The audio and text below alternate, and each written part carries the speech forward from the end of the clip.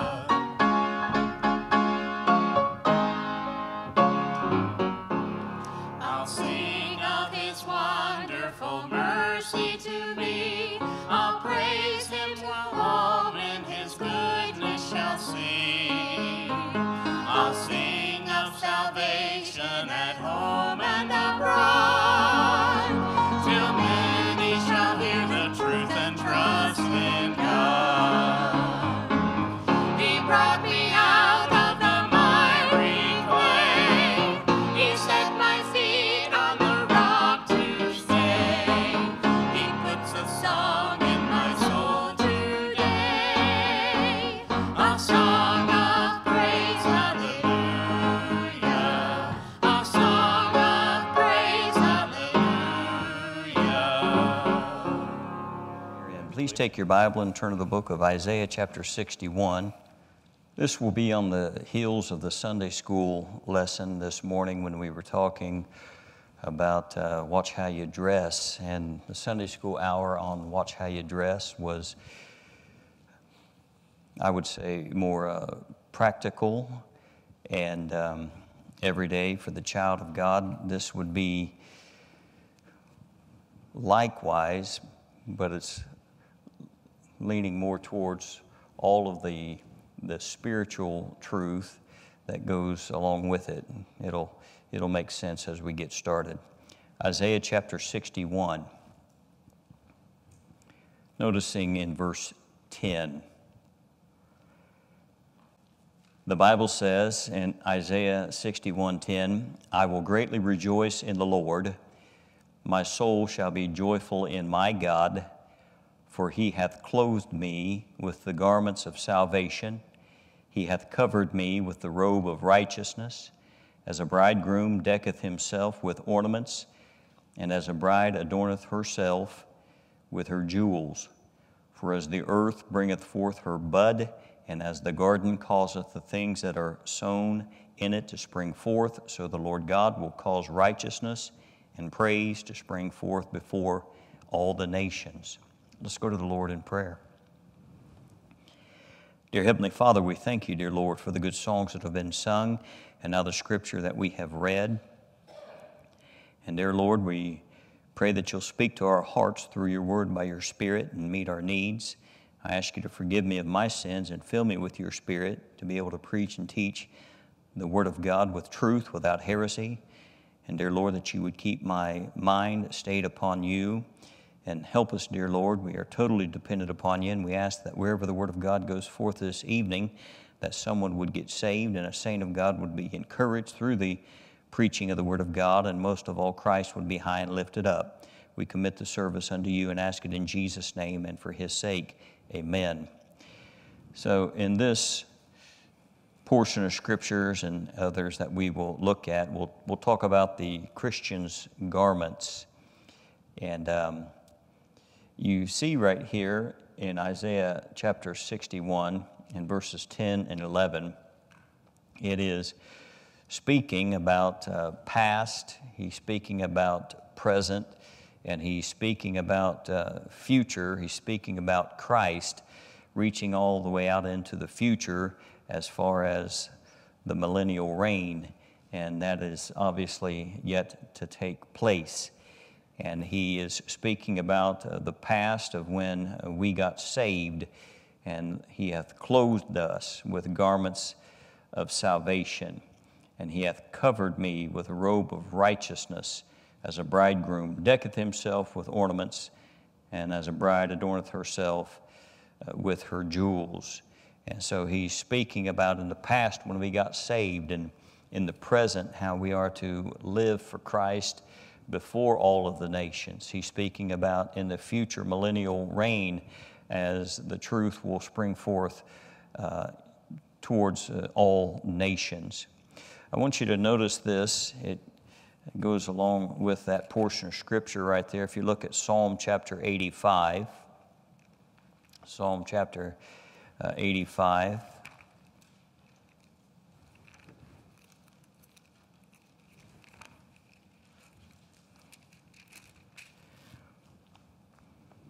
So in Isaiah chapter 61 and verses 10 and 11, he's obviously speaking about Christ and that uh, Christ has clothed us with the garments of salvation. That's the Christian's garments.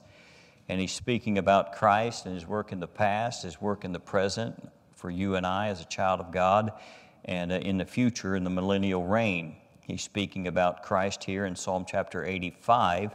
I want you to notice in verse 7 the Bible says, Psalm 85, verse 7 Show us thy mercy, O Lord, and grant us thy salvation. And of course, it is of God's mercies that we're not destroyed. It is of God's mercy that we get saved.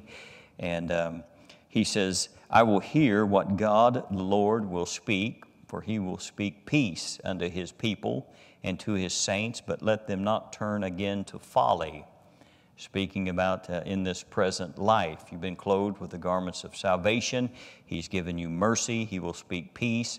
But uh, let us not turn back again into the old life and to uh, what the Bible calls folly. Let us not turn away from the Lord. Verse 9 says, Surely his salvation is nigh them that fear him, that glory may dwell in our land.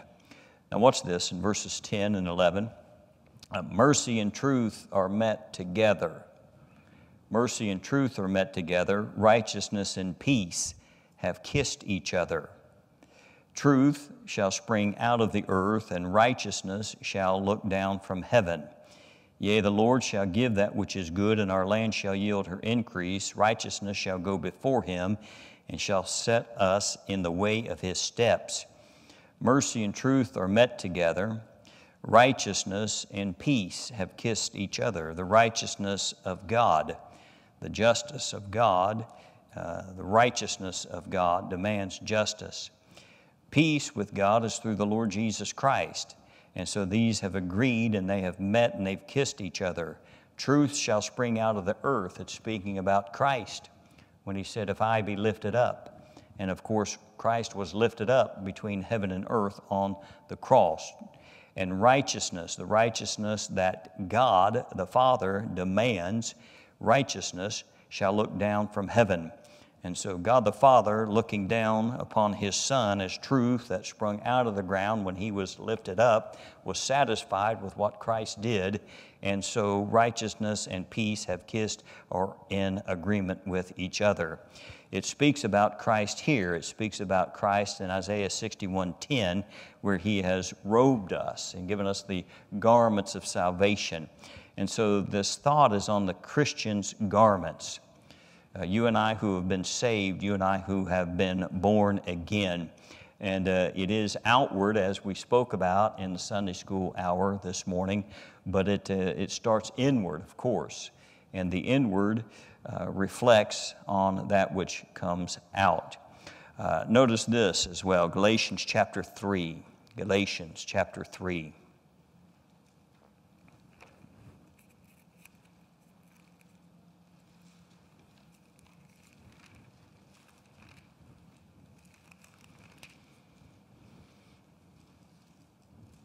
In Galatians chapter 3, you notice in verse 27, the Bible says, For as many of you as have been baptized into Christ have put on Christ. For as many of you as have been baptized into Christ. This is speaking about when you got saved and uh, you were placed in Christ. When you were saved and you were placed in Christ, you know that the, the next step after that you got saved was that you would submit to scriptural baptism, but it is not the baptismal waters that places you in Christ. It's the blood of Christ. It's asking Christ to come into your heart and save you, and the Holy Spirit of God, He converts you. And so you are placed in Christ when you get saved. If any man be in Christ, he is a new creature, and old things pass away.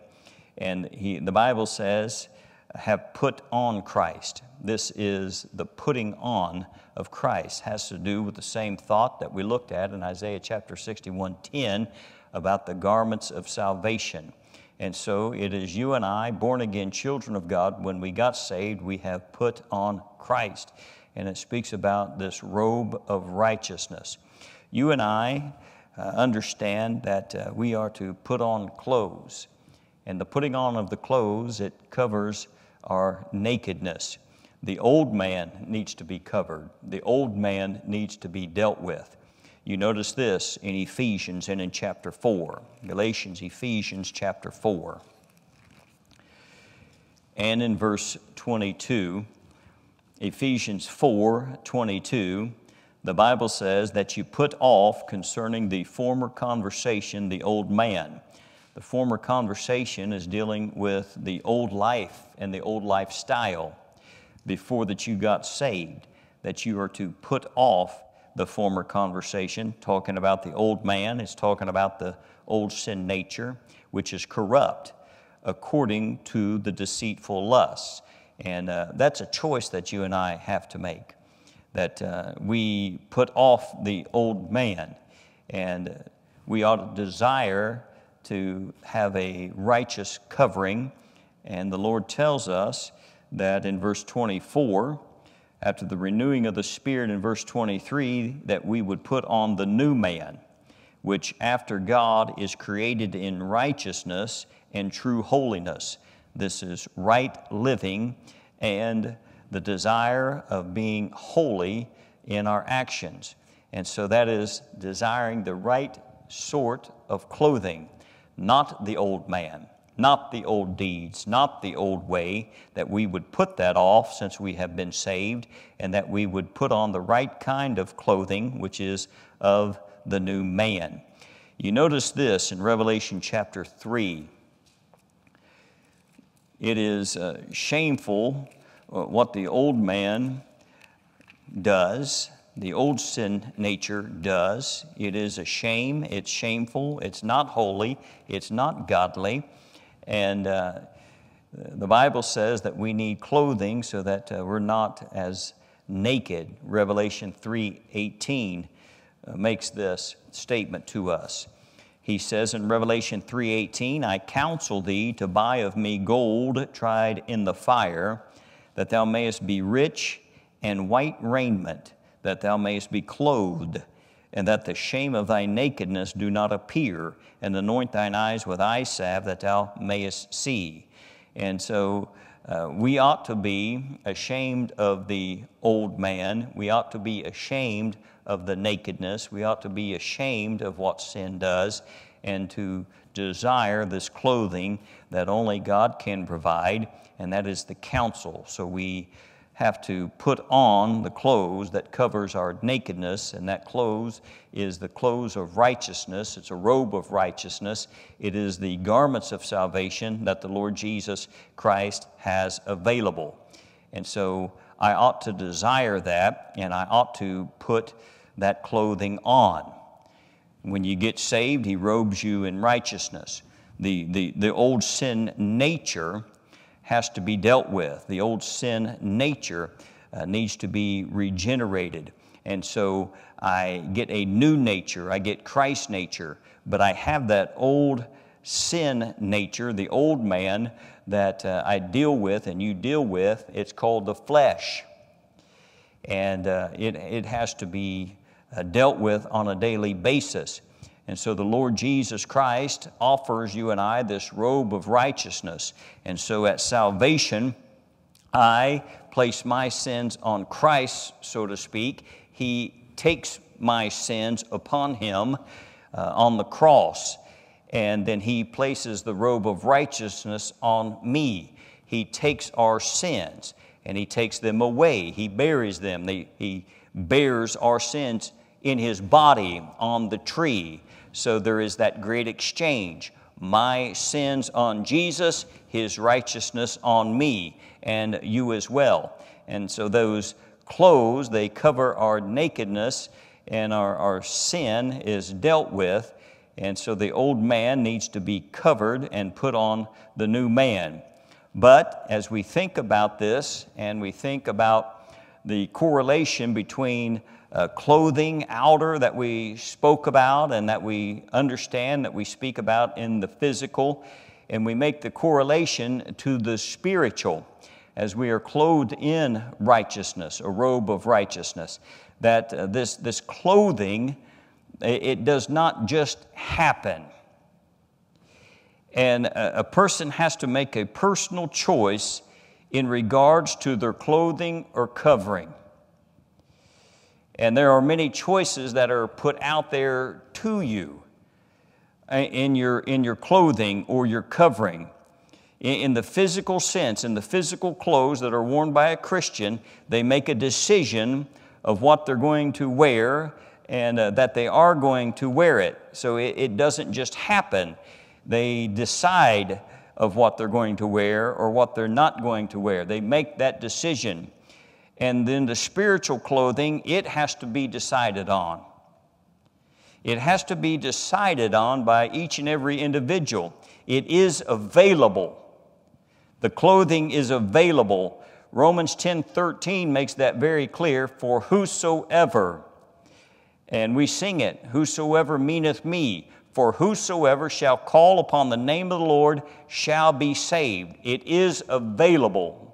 This robing is available.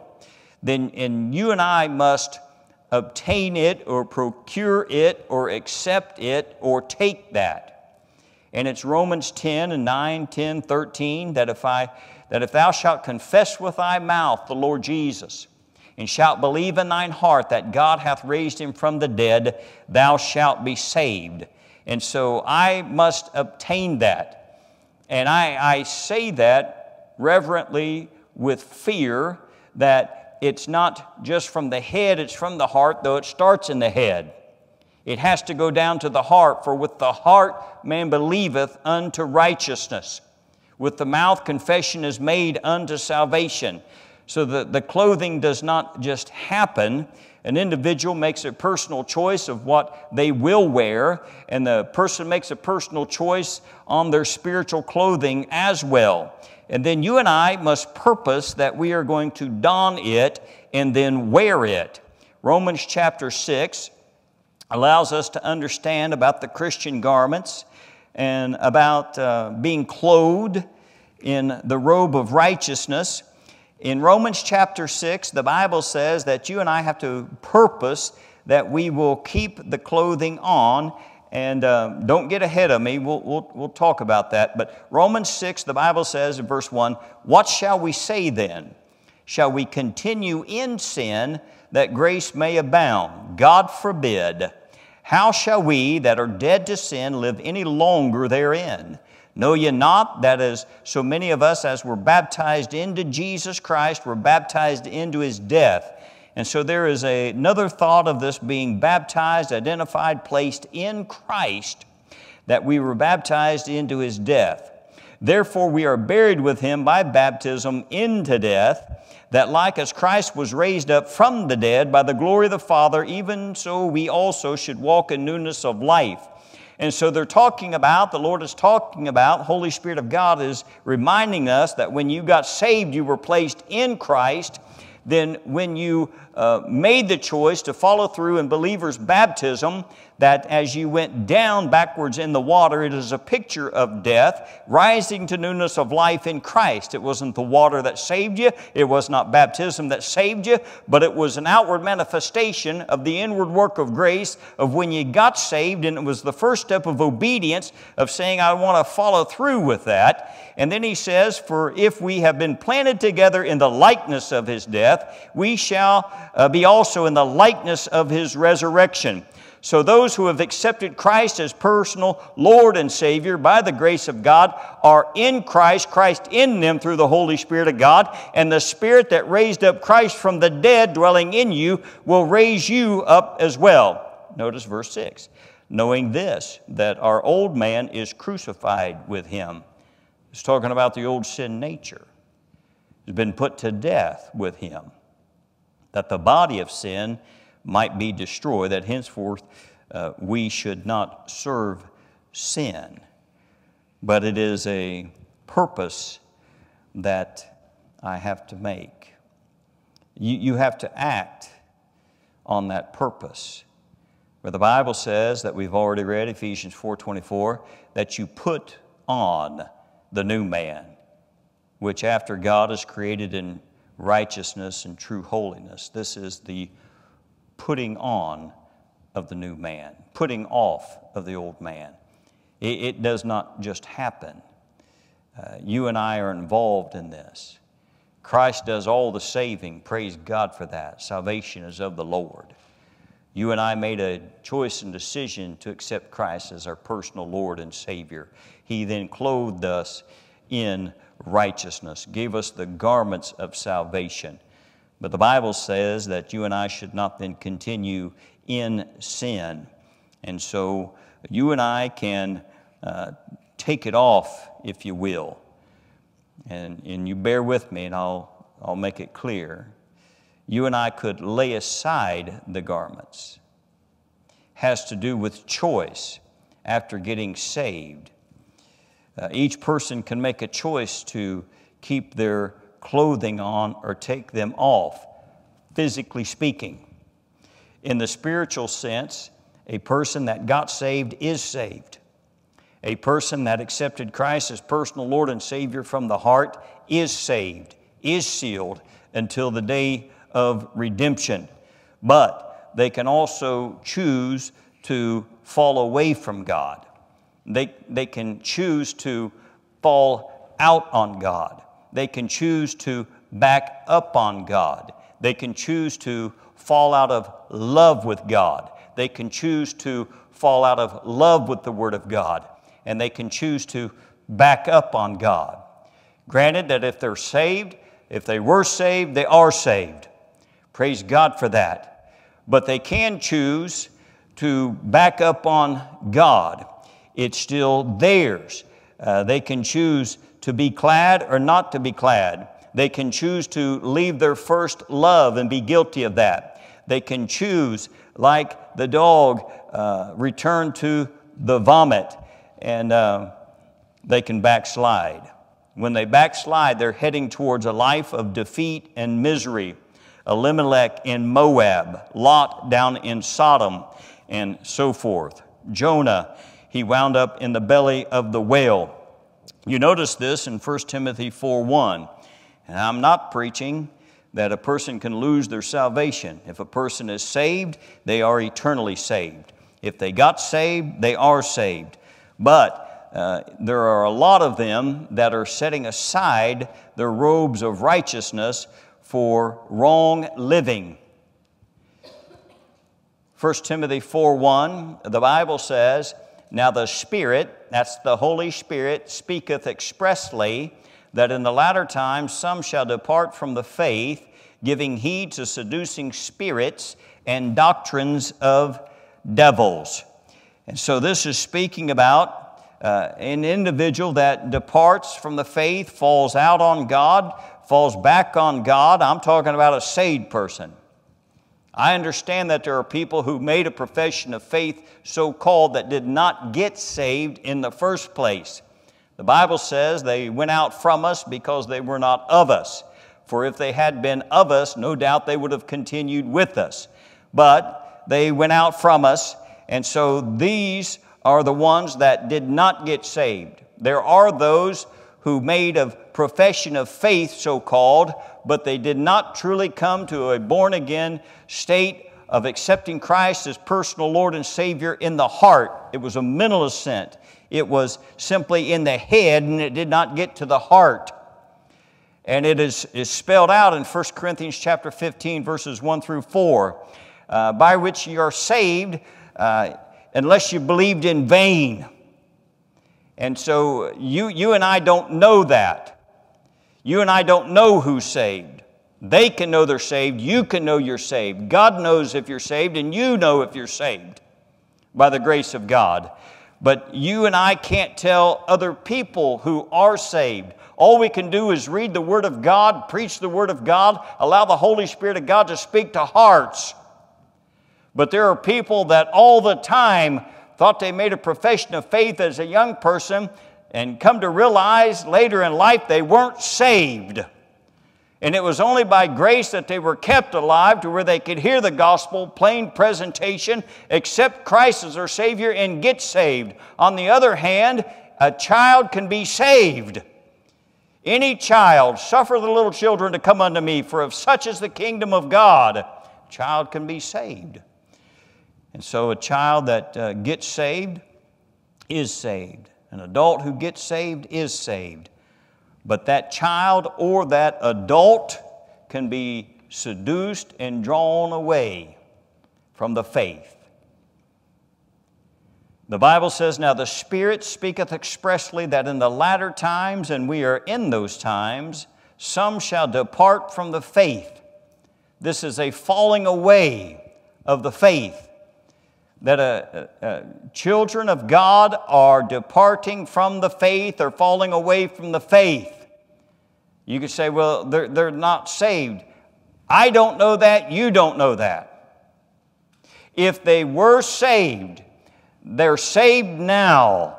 And if they fall back on God, backslide on God, depart from the faith, then there's the promised chastening hand of God. You say, What does that look like, preacher? I don't know for that individual. I've experienced it. And so it's different from every individual of, of the manifestation of the chastening hand of God in their life. But there is a promise of that in Hebrews chapter 12. He says, But these will give heed to seducing spirits and doctrines of devils. Seducing you. And these seducing spirits are at work tonight. The seducing spirit means a drawing away and is meant to draw you away, draw you away from the Bible and tell you there's something more important than reading your Bible. It could be as simple as the, the, the very sitcom that you're addicted to. Like, man, I got to get home. That, that's, that's coming on TV. I got to see what's happening on this next episode. It could be any type of thing. It can be people, places, and things that tells you this is more important than reading your Bible, and there's nothing more important than reading your Bible. Nothing. There's nothing more important than the spiritual. And he says these are seducing spirits, and you know they're at work in your life all around. And it goes to doctrines of devils uh, evangelist uh, Tom Suter, I was just speaking with him uh, on this matter of uh, demon possession and demon oppression and oppressing the child of God. And, and he said it is like pitching, or, or picking up a hitchhiker.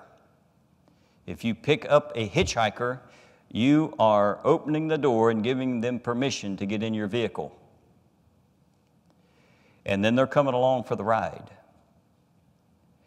And uh, he said, This is like picking up a spiritual hitchhiker, and you are opening the door for demonic influence and giving them permission to come along for the ride. And they will seduce you away from the Bible, away from God, away from church, away from prayer. And you have opened the door to give them permission you need to shut the door. The clothing does not just happen, and you could take it off and lay it aside, but it may cost you. It may cost your family. it, it is yours. If you're saved, praise God that you're saved. If your kids are saved, praise God they're saved. But um, you and I need to be careful. There is a sin that's up to and including death for the child of God. It's 1 John chapter 5. 1 John chapter 5.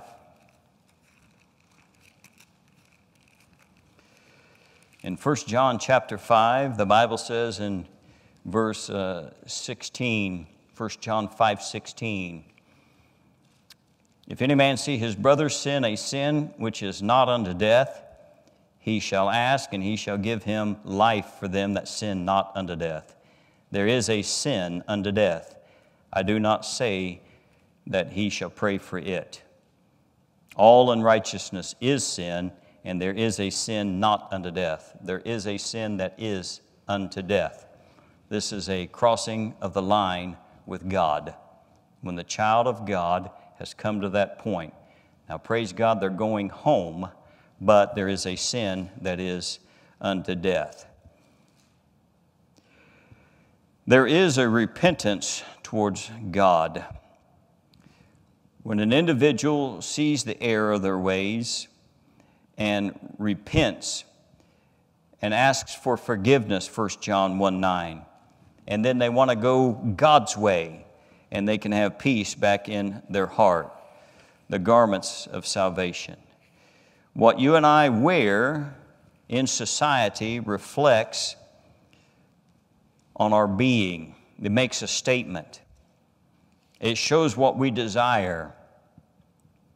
Every crowd that seems to want to be different, they have crowds that dress the same.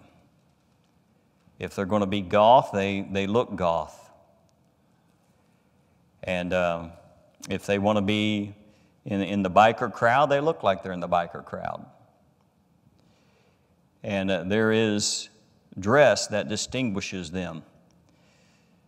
The Christian has outward clothing that we discussed. It's 1 Timothy 2 9. The Bible says, In like manner also, that women adorn themselves in modest apparel, with shamefacedness and sobriety, not with broidered hair, gold, pearls, costly array.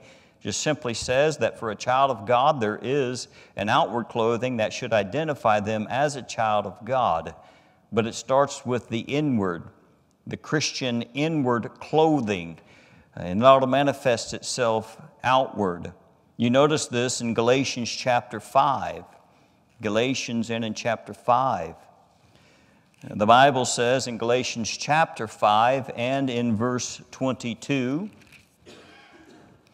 But the fruit of the Spirit is love, joy, peace, long suffering, gentleness, goodness, faith, meekness, temperance.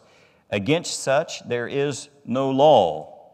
And they that are Christ's have crucified the flesh with the affections and lusts. If we live in the Spirit, let us also walk in the Spirit. Let us not be desirous of vainglory, provoking one another, envying one another. And it has to do with the fact that you and I would promote each other and love each other to the better that the child of God wants the best for their brethren, that the child of God wants all that God has for each of you and for His church. That you don't want to see somebody's demise, you want to see all that God can do in and through them. That you pray for them, that you promote them, that you bless them, not in a false sense but in a real sense. There's different types of clothing that has to be worn simultaneously. We won't dive into it, but Ephesians chapter 6 and verse 11 is speaking about putting on the whole armor of God. And so let me finish this evening quickly on these things that we are commanded to put on as the garments of a Christian. We already mentioned this that we are to put on the new man. That's Ephesians 4:24.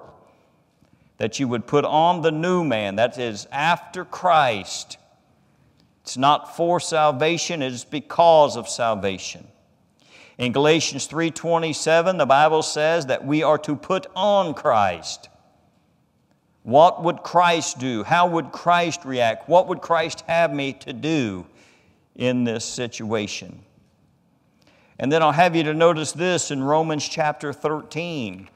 It's talking about the Christian's garments, speaking about the spiritual context. Romans chapter 13. In Romans and in chapter 13, I want you to notice this in verse 12, Romans 13 and in verse 12. The Bible likens sin into darkness and Christ into light, Christianity into light. the old man nature as the dark, the new man as then the light. Romans 13, 12, the Bible says, The night is far spent, the day is at hand. Let us therefore cast off the works of darkness, and let us put on the armor of light. We are to put on the armor of light. Let us walk honestly as in the day, not in rioting and drunkenness, not in chambering and wantonness, not in strife and envying. But put ye on the Lord Jesus Christ, and make not provision for the flesh to fulfill the lust thereof. Notice that in verse 14, that you and I would put on the Lord Jesus Christ and make not provision for the flesh to fulfill the lust thereof. That's what you and I have to do. God's given you the robe of righteousness. God has given you the Bible. God has given you the opportunity of prayer. God has given you a local church to attend, but you have to do that.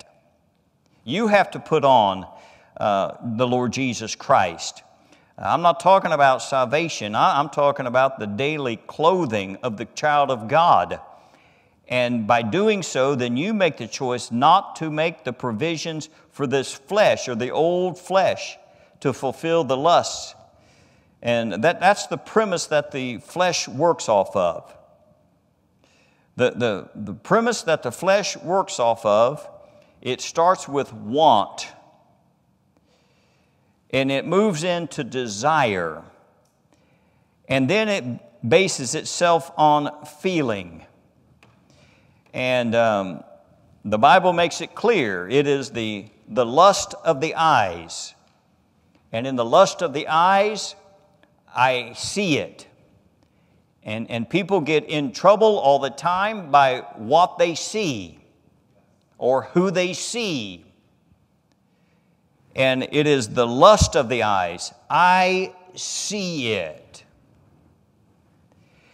And then it becomes the lust of the flesh. I want it. I see it, then it moves into I want it. And then it goes to the pride of life I deserve it. And the devil tells you there's only one life to live, live it up and it's all about you. Where Jesus says there's only one life to live, and that I'm to live it for Him. It is opposite of the old man. The flesh works off this premise to fulfill the lust thereof. And so I have to cut off that thought. When that thought comes up, I have to cut off that thought so that I do not feed that process. And the process will be fulfilled if I don't cut it off. It's the flesh, and it justifies itself in saying, You deserve it. No, you have to crucify it. You are to put on the armor of God. And then notice this last. It's uh, Colossians 3. Colossians 3.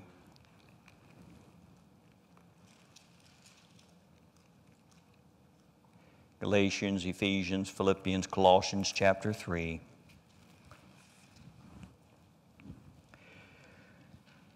This lust of the eyes and the lust of the flesh and the pride of life is age specific, but it's the same and it works on different ages. It's the same principle, the devil uses it, but he, he, he works on every age bracket using that same principle.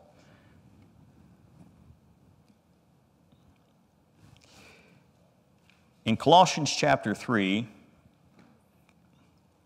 we talked about uh, putting on, this is the Christian's garments.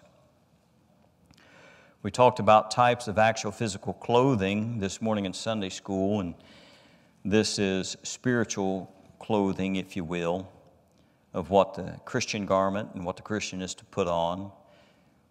has a lot to say about it. Colossians 3:12, the Bible says, "Put on therefore as the elect of God." The elect of God is a saved person.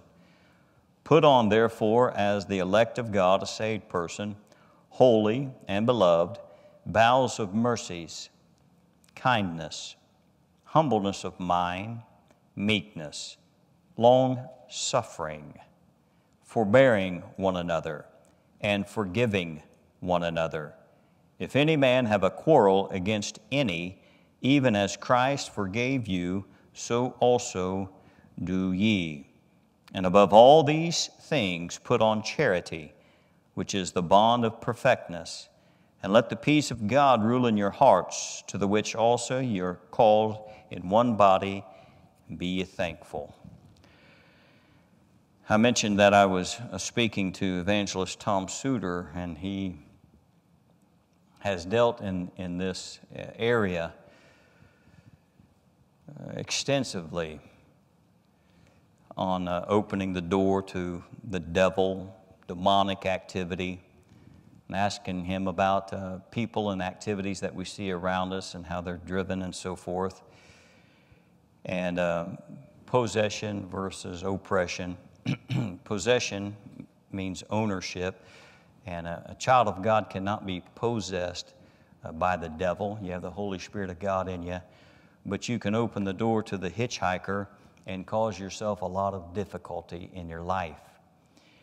And uh, he said that, uh, you know, what you would already know the number one way to open the door to uh, demonic activity, take over, and, and cause you lots of difficulty in your life, can't get your soul, you're saved, is the matter of having an unforgiving spirit. And said the devil capitalizes on that if you will not forgive, forgive us our debts as we forgive. And he said something to the effect, the Bible does, that if you will not forgive, neither what? Will your Father. And he said, in the matter of dealing with people and counseling with this, Christians, the way that most of them open up for demonic oppression, difficulty in their life is in the matter of forgiveness and won't forgive. And it's a whole nother sermon, and we won't take time to go there, but you understand the parable of the one that had his debt forgiven and when he had his debt forgiven, that was an insurmountable amount of debt forgiven. He went out to somebody that owed him a little and took him by the throat and uh, demanded it or throw him in jail. And he got back to the one that had forgiven, and he said he was evil in that thought to turn him over to like the tormentors or to prison. And it is a mental prison and torment applied by the devil when an individual will not forgive. And so you see this here of putting this on in Colossians 3 12 through 15. For our own good he says in verse 13, forbearing one another. What is that? It's patience with each other and forgiving one another. If any man have a quarrel against any, even as Christ forgave you, so also do ye. Close the door to the hitchhiker. Don't let him in. These are the garments of the child of God, of the Christian that we are to put on. Certainly something to think about this evening. If the Holy Spirit of God speaks to you in any way, then allow the Scriptures to do what they're supposed to do and um, ask the Lord to help you with it. Let's go to the Lord in prayer. Dear Heavenly Father, we thank you for the Word of God. We thank you, dear Lord, that a saved person cannot lose their salvation. That's the truth. well established in the Word of God. We thank you, dear Lord, that you have robed us in righteousness. Help us, dear Lord, to desire to wear that robe of righteousness, not lay it aside, and not to invite difficulty into our life. Help us, dear Lord, to desire to go forward, not backward. Help us, dear Lord, to follow you. And, dear Lord, we ask that you would help. If there's anybody that's experiencing any difficulty, dear Lord, to give it over to you, to confess it and forsake it. Help us now. In Jesus' name we pray. Amen. I have good news to and that is why I sing. All my joys with you I'll share. I'm going to take a trip on the good old gospel ship and go sailing through the air. Oh, I'm gonna take a trip in the good old gospel ship. I'm going far beyond the sky. Gonna shout and sing until the heavens ring when I'm bidding this world goodbye.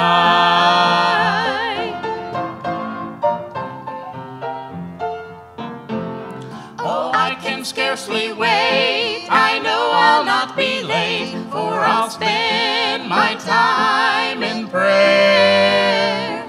And when my ship comes in, I'll leave this world of sin and go sailing through the air.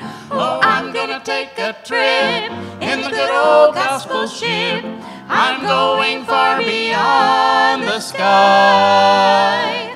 Oh, I'm gonna shout and sing until the heavens ring when I'm bidding this world goodbye.